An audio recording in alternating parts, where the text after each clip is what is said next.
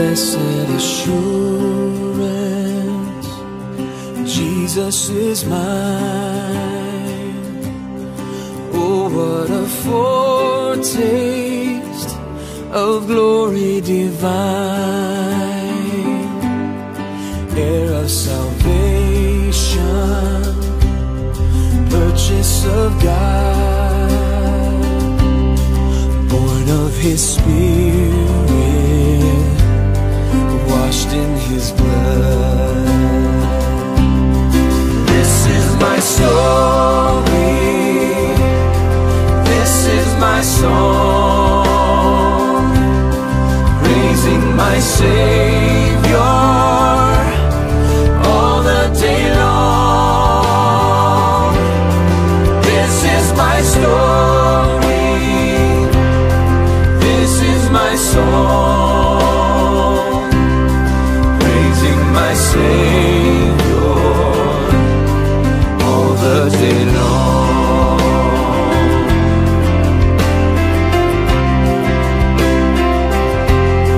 perfect submission, perfect delight,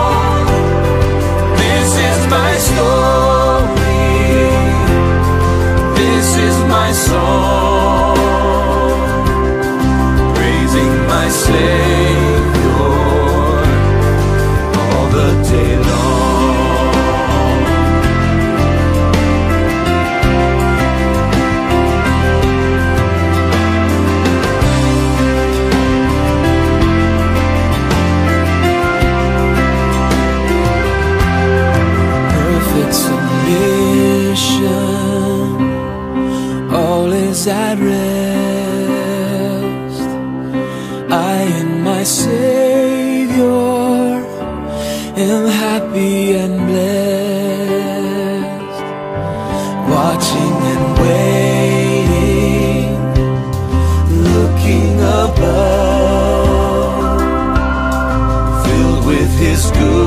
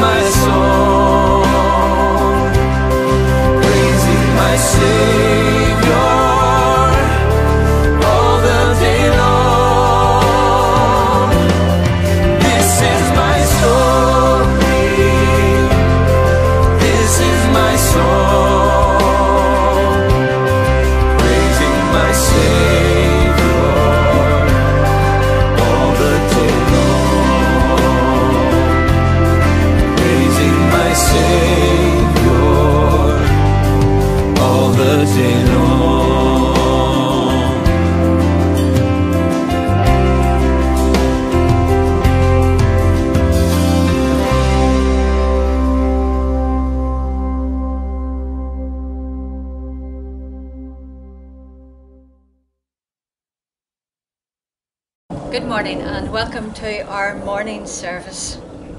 The Lord be with you and also with you. We have come together in the name of Christ to offer our praise and thanksgiving, to hear and receive God's holy word, to seek the forgiveness of our sins, and to pray for the needs of the world. That by the power of the Holy Spirit we may give ourselves to the service of God.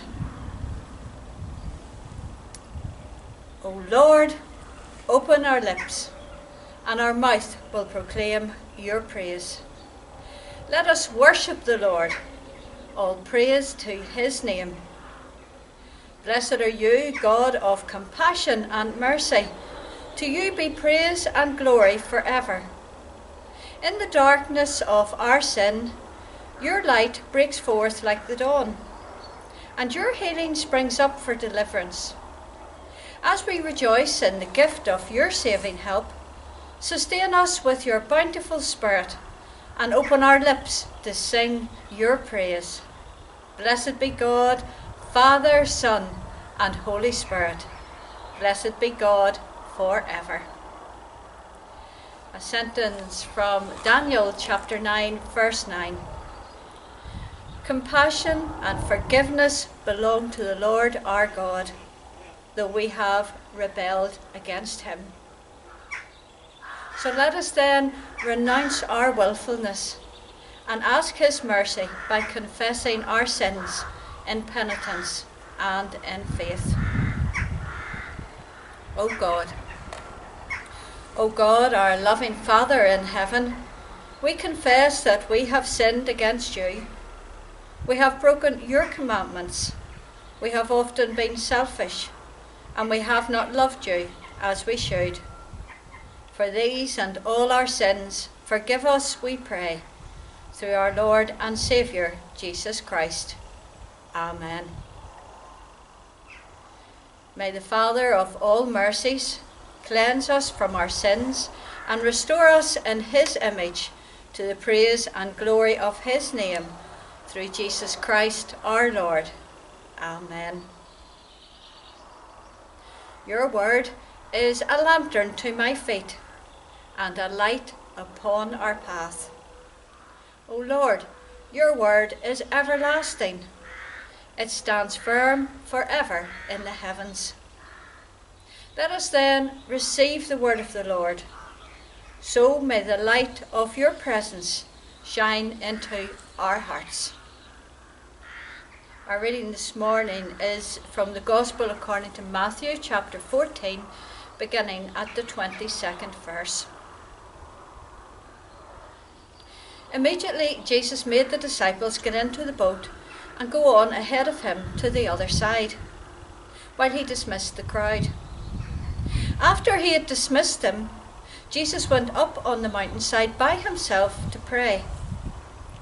Later that night, he was there alone and the boat was already a considerable distance from the land, buffeted by the waves because the wind was against it. Shortly before dawn, Jesus went out to them, walking on the lake. When the disciples saw him walking on the lake, they were terrified. It's a ghost, they said, as they cried out in fear. But Jesus immediately said to them, Take courage, it is I don't be afraid. Lord, if it is you, Peter replied, tell me to come to you on the water. Come, he said.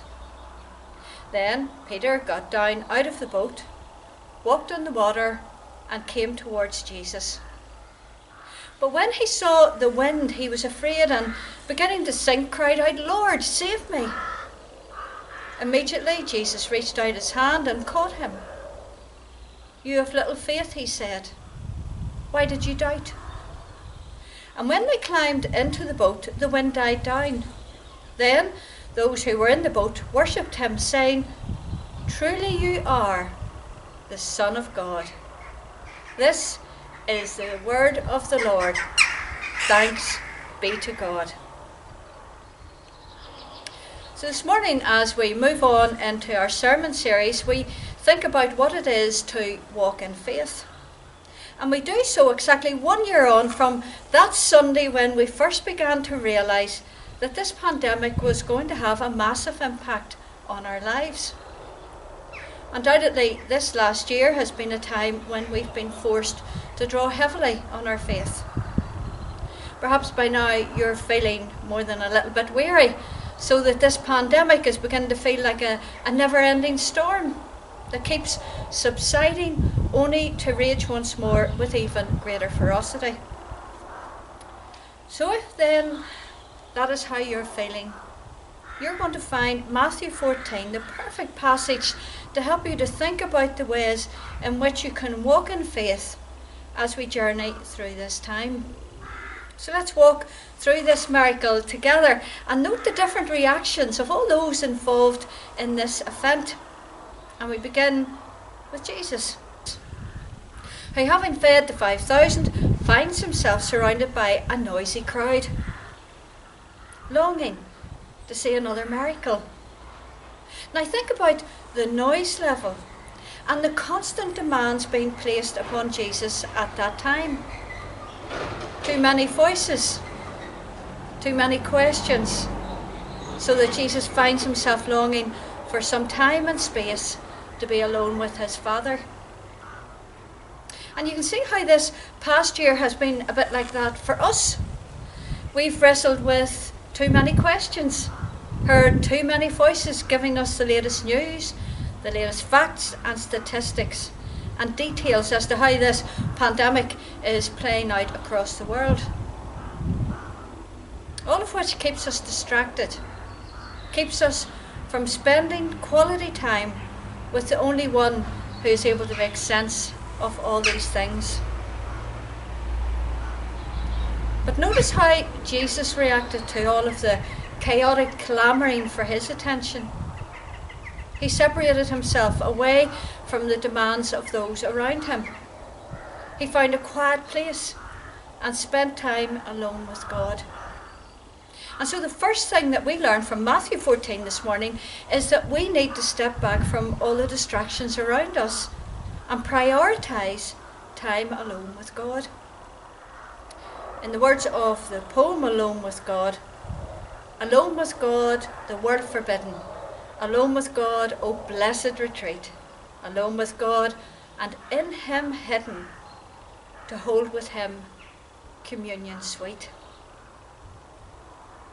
Secondly, notice how Jesus responds to his disciples when that storm breaks, because this is exactly how he will respond to us.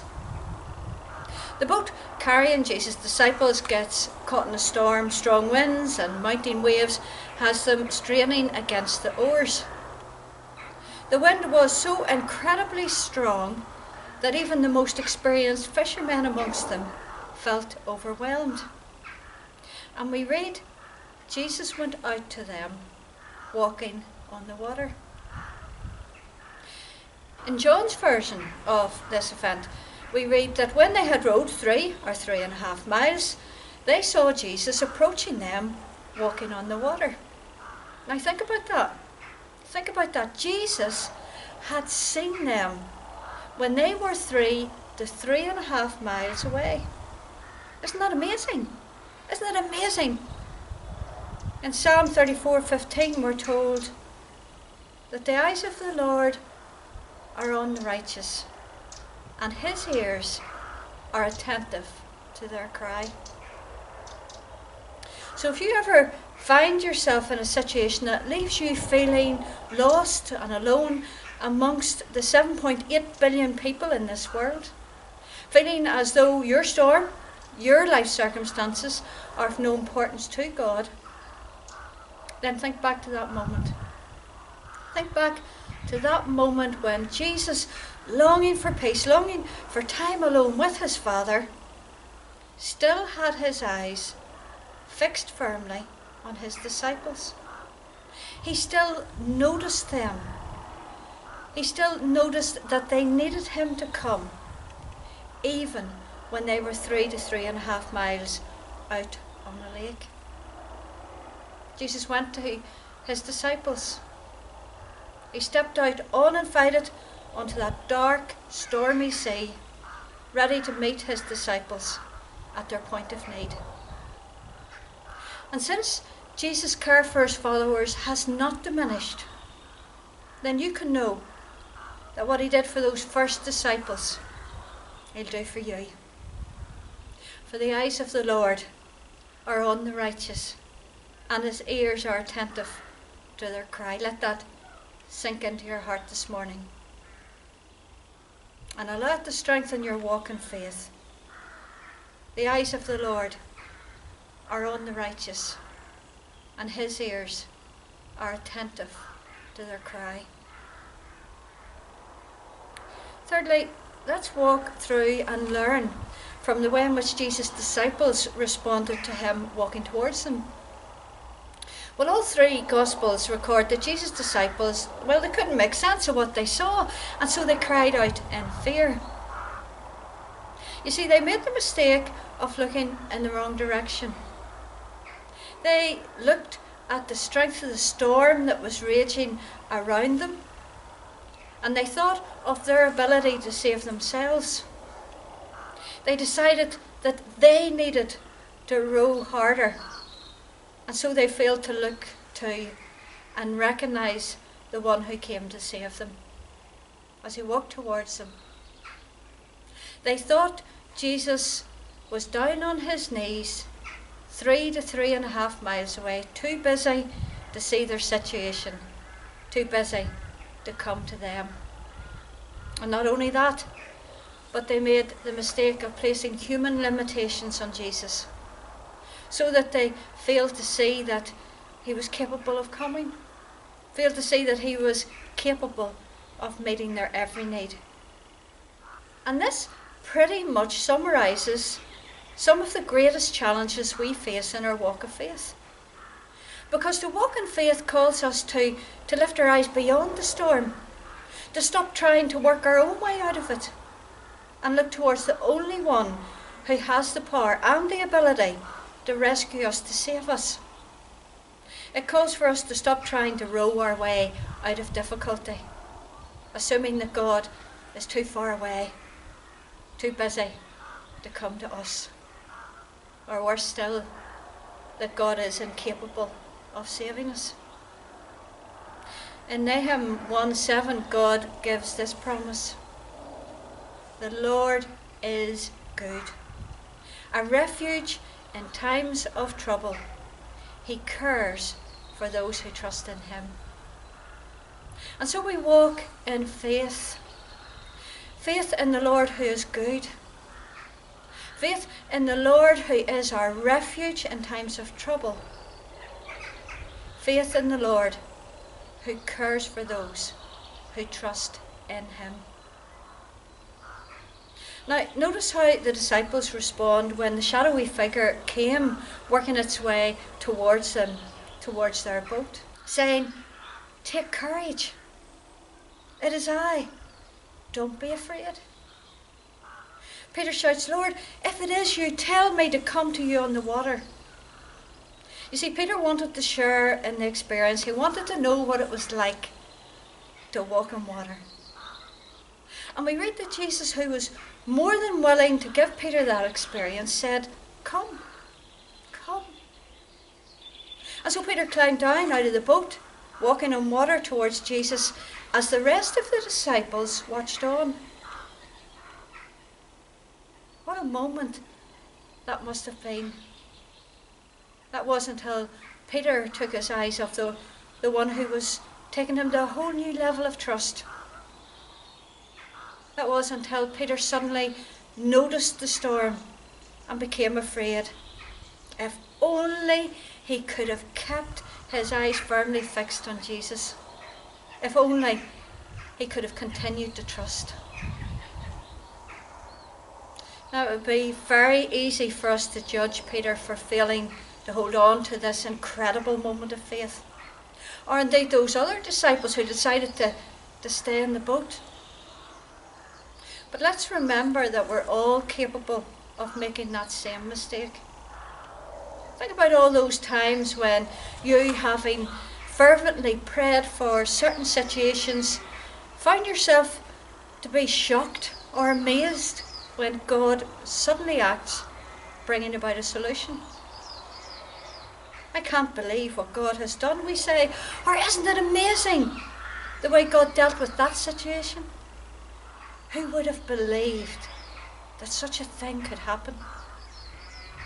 You see, in those moments, we were feeling ourselves to be just like Peter, just like those disciples who stayed in the boat, looking at the storm and failing to fully grasp the power of God. But the most wonderful thing of all is that despite our failures, Christ responds to us in the same way that he responded to Peter as Jesus reached out his hand and he saved him, bringing Peter safely back into the boat. And what Jesus did for those first disciples, he'll do for us. When we welcome him into our boat, into our lives, so that we stop struggling against the circumstances of life. Stop desperately trying to work our own way out of all of life's difficulties. As we simply welcome Jesus into our lives and trust Him to scatter the storm. In Zephaniah 3:17, God invites us to allow Him to bring calm into every situation in life, saying, "The Lord your God is in your midst, a mighty one who will save. He will rejoice over you with gladness. He will quiet you by His love." He will exult over you with loud singing. In life, especially in times such as these, we may well find ourselves feeling as though we're being buffeted by, by storm. But when we walk in faith, trusting in Christ, then He has promised to bring us a sense of calm and assurance when we keep our eyes firmly fixed on Him. One final thought. Once those disciples witnessed Jesus bringing that storm to an end, they fell to their knees and, and they worshipped Him, saying, Truly you are the Son of God. In all of life's failures, in all of our failures, all our wrestlings, all of our doubts, may we never forget to recognize the hand of God at work in our daily lives, in the small, everyday things of life. And in so doing, may we never forget to worship Him. Let's pray. Lord, we thank you for being patient with us in those times when we lift our eyes from you. Thank you that you never give up on us, but you continue to love, continue to bring your peace into every situation in life. Lord, help us to worship you in the storm. In Jesus' precious name, we pray this. Amen. And we respond now to the Word of God as we stand together as the people of faith and declare our faith in the words of the Apostles' Creed. I believe in God. I believe in God, the Father Almighty, Creator of heaven and earth. I believe in Jesus Christ, God's only Son, our Lord, who was conceived by the Holy Spirit born of the Virgin Mary, suffered under Pontius Pilate, was crucified, died, and was buried. He descended to the dead. On the third day he rose again. He ascended into heaven. He is seated at the right hand of the Father, and he will come again to judge the living and the dead. I believe in the Holy Spirit, the Holy Catholic Church, the communion of saints the forgiveness of sins, the resurrection of the body, and the life everlasting. Amen. In confidence and trust, let us pray to God, our Father. Let's pray. Lord, as we gather as your people in this way, we pray that you would strengthen us and uphold us, Lord, and encourage us in our walk of faith. Lord, take us in all our weaknesses and failures and turn us into something more, something that is worthy of declaring your news, your gospel news across this world. And Lord, we pray for peace and equity in the world. Even more so at this time of global pandemic. And we ask that you would work in the hearts of the governments of this world as they administer the vaccination programme and remind them to look to the needs of those in the poorer parts of this world so that a, spirit of respect and reconciliation may grow among the nations and the peoples as we honour you in the way we care for others. Lord, we unite our hearts now for the poor of this world, the persecuted, the sick, and all those who suffer. Naming before you all those known to us who are journeying through difficult times.